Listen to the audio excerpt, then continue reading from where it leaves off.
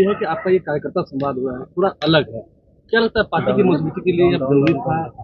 नहीं नहीं ऑब्वियसली भाई कार्यकर्ता जो है पार्टी के कार्यकर्ता जो है ये पार्टी के बैकबोन है। रीढ़ के हड्डी है। और उनसे नेता का डायरेक्ट इंटरेक्शन होना बहुत ज़रूरी है ताकि प्रॉपर फीडबैक पता चल सके। और हम लोग भी चाहते हैं कि संगठन को और मज़बूत किया जाए आने वाले समय को लेकर के। मास पार्टी के साथ साथ कैडर की भी पार्टी हो राष्ट्रीय जनता दल इस काम में हम लोग लगे हुए हैं। और मुझे पूरा विश्वास है कि सभी कार्यकर्ता क्योंकि ये जो पहला जो हमारा जो कार्यक्रम है पूरे बिहार में जो हम लोग घूमेंगे ये कार्यकर्ता संवाद होगा। इसके बाद नवंबर दिसंबर में हम लोग जनता के बीच फिर दोबारा जो है संगठन को मज़बूत करके उनके बीच हम लोग तो पटना जब पटना सिटी में आज जिस तरीके से चेन स्नैचिंग किया गया और विरोध करने कुछ दिन पहले ही आपको पता है हमारे विधायक की पत्नी के साथ ही यहाँ टल पथ पे हुआ एकदम सेंट्रल पटना में। ये घटनाएँ लगातार हो रही है। मर्डर हत्या लूट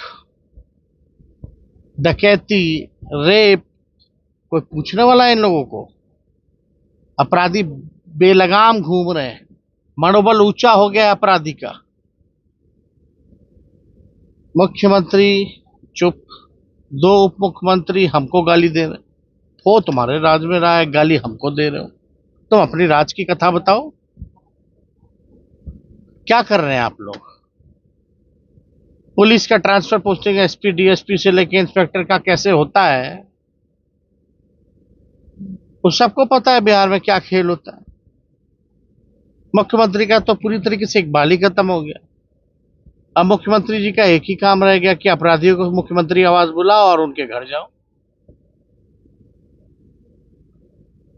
तो अपराधियों का मन नहीं बढ़ेगा। बढ़ेगा ही बढ़ेगा। तो एक सवाल ये है कि आज विगत दिनों जब आप नीतीश कुमार से मिले तो उसके बाद बिहार में चर्चा हो रही है। साथ आने की बात हो रही है। अरे भाई। वो हम कितनी बार इस बात को कहे हैं। वो बैठक जो था आपका जो सूचना आयुक्त को लेकर के दो पद जो खाली थे उसको भरने के लिए था उसमें संवैधानिक पद पे नेता विरोधी दल का भी रहता है। कमेटी में हम भी थे तो हम गए थे। लेकिन आप बताइए ना आपको नीतीश जी पे भरोसा होता है क्या? हम हम अरे भाई जब भी मुख्यमंत्री ये बात बोलते हैं चाहे सदन में या बाहर या मीडिया के सामने अब हम कहीं नहीं जाएँगे। अब हम कहीं नहीं जाएँगे। अब हम जहाँ हैं वहीं रहेंगे। तो आप लोगों को भी विश्वास नहीं होता होगा। ये सच्चाई है गया अब अब दो बार जीवित कर दिया हम लोगों ने अब बार बार थोड़ी होता है।